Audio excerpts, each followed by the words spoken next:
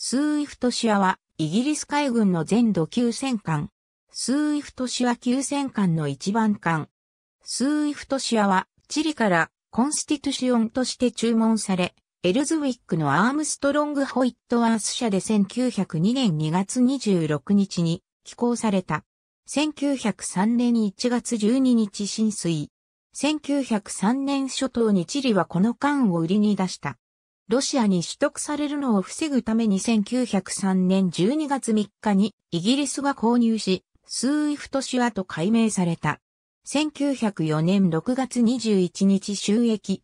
第一次世界大戦勃発時は東インド艦隊の機関であった。1914年9月からボンベアデン艦でインド兵輸送船団の護衛に従事した。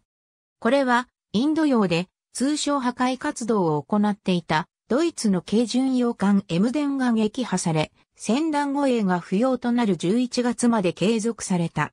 1914年12月1日、スーイフトシアは東インド艦隊機関のままで、スエズ運河パトロールに配属された。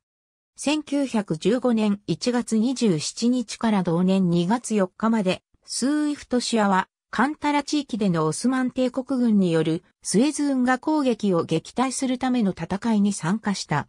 1915年2月後半、スウィフトシュアは東インド艦隊旗艦任務を装甲巡洋艦、ユーライアラスに委譲した。そして、スウィフトシュアは、ダーダネルス作戦に参加した。1915年2月28日に、スウィフトシュアは、ダーダネルス戦隊に加わった。1916年2月に、スウィフトシュアは、ダーダネルス海峡を離れた。1916年2月7日に、ケイファルからジブラルタルへ向けて出発した。ジブラルタルにおいて、スウィフトシュアは、第9巡洋艦戦隊に編入され、大西洋での船団護衛などに従事した。1917年3月に、スウィフトシュアは、第9巡洋艦戦隊から外された。1917年3月26日に、シエラレオネを出発し、4月11日に、プリマスに着いた。